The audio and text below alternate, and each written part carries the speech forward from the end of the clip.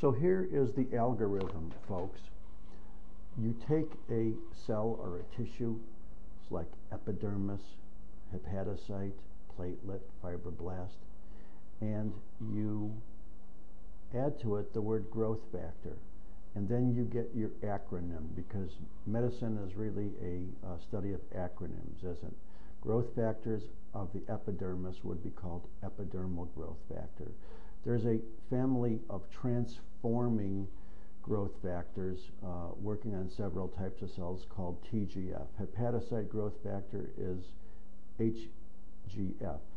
Vascular endothelial and fibroblastic growth factor, most important in neovascularization, VEGF and FGF respectively. I think you kind of get the uh, pattern of what we're talking about.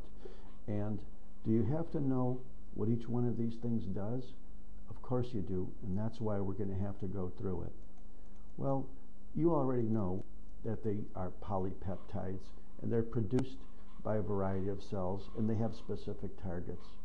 And they are the critical factors in cell differentiating, uh, differentiation and growth, and many, if not most of them, can be made by uh, genetic engineering. And that's really nice because this represents a marvelous future uh, in medical pharmacology. Uh, let's talk about the players in this role, in this movie. Uh, many of them uh, are from lymphocytes, and we have already said that if uh, polypeptides are expressed from lymphocytes or macrophages and they're involved in cell differentiation, we define those as uh, cytokines, didn't, didn't we? Uh, they can also be made by platelets or have platelets as a target, endothelial cells or endothelial cells as a target, fibroblasts or fibroblasts as a target, and so on and so forth. Keratinocytes, the epithelial cells of the skin, connective tissue or mesenchymal cells. And sometimes it's named, or usually it's named after the cell it acts on, and sometimes it's named after the cell it comes from.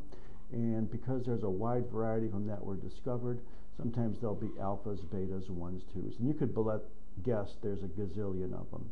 Let's talk about the first one, epidermal growth factor, made in platelets and macrophages, or by platelets and macrophages, to cause epidermal, or basically keratinocytes in the skin, to migrate and divide. Uh, they also act on fibroblasts to produce granulation tissue. So even though we called it epidermal growth factor, because that's what, how it was discovered first, it can also act on non-epidermal or mesenchymal or stromal cells called fibroblasts to proliferate as well. Transforming growth factor, there's an alpha and there's a beta, and they're not really too uh, well related to each other. The uh, primary one uh, transforming growth factor alpha is made by macrophages and T cells and keratinocytes. And what does it do? It does pretty much what EGF does. And it also has an effect on hepatocytes as well. There is hepatocyte growth factor, however, which has a direct effect on hepatocytes, but it was also discovered epithelium. And it's made in mesenchymal cells, which mean connective tissue cells, not epithelial cells. So here's a case like we see in embryology where the connective tissue is producing substances to differentiate the epithelial-like tissues. Uh, hepatocyte growth factor, HGF, also has an effect on cell motility. Here is probably the single most important growth factor called vascular endothelial growth factor. And as you could guess, the VE stands for the cell that it is uh, targeting to rather than where it's made. It's made by general mesenchymal cells, and it uh, has as its target other types of mesenchymal cells called endothelial cell precursors, which is the key substance in showing the granulation tissue or ingrowth of new blood vessels uh, following inflammation and in this mysterious process we call uh, healing. Platelet derived growth factor, no doubt, is derived from platelets. It's chemotactic for many cells. It causes fibroblasts to divide. uh, and therefore it is a also a key player in angiogenesis and granulation tissue, or what we call organizing inflammation. Here's fibroblast growth factor. Uh, this one happened to be a question on the boards last year. Why? I don't know. It's, uh, but it's made by many, many type of cells and has fibroblasts as its target. But as you might guess, there are some non uh, connective tissue cells called keratinocytes, which it also has an effect on. And like VEGF, FGF, and VEGF are the key players in wound contraction and angiogenesis. Here's transforming growth factor uh, beta as opposed to alpha. It's made by many, many cells, and the beta transforming growth factor uh, is chemotactic for polys, or PMNs, or neutrophils, and many other types of cells.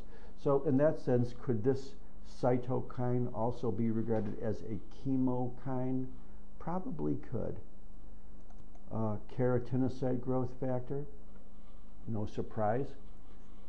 Another growth factor made by connective tissue cells, fibroblasts, and stimulates keratinocytes to migrate. So there's a locomotion factor there, isn't there? Proliferate and differentiate. So we constantly see these interrelationships between stromal or mesodermal derived cells and epithelial or ecto and endodermal derived cells. And it's pretty much what we knew from embryology. The stroma stimulates the epithelium and vice versa. Let's take a couple of uh, other last ones here. Let's talk about the uh, insulin-like growth factor. It's made in macrophages, fibroblasts.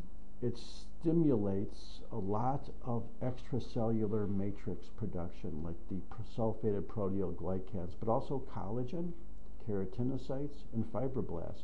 So with it's stimulating all those different types of cells, you would think it would be an action very similar to our old friend uh, HGH, or pituitary growth hormone. And in reality, it has a very similar action.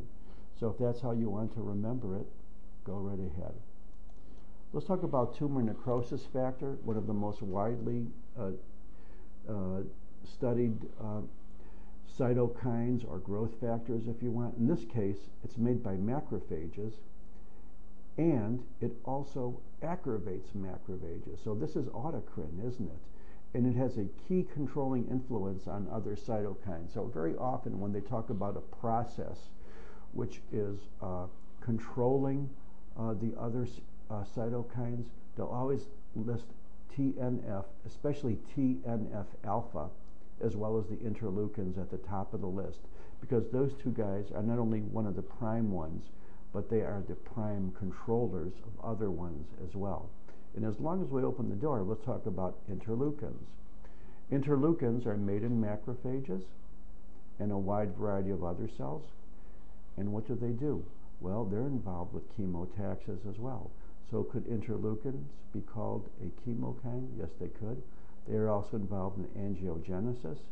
And, like we said, with TNF, the interleukins, especially interleukin 1, is a prime regulator of other cytokines.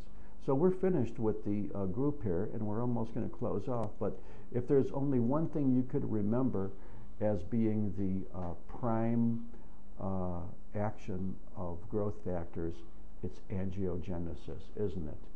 And uh, we'll start out the next chapter with talking about interferons. And um, thank you very, very much.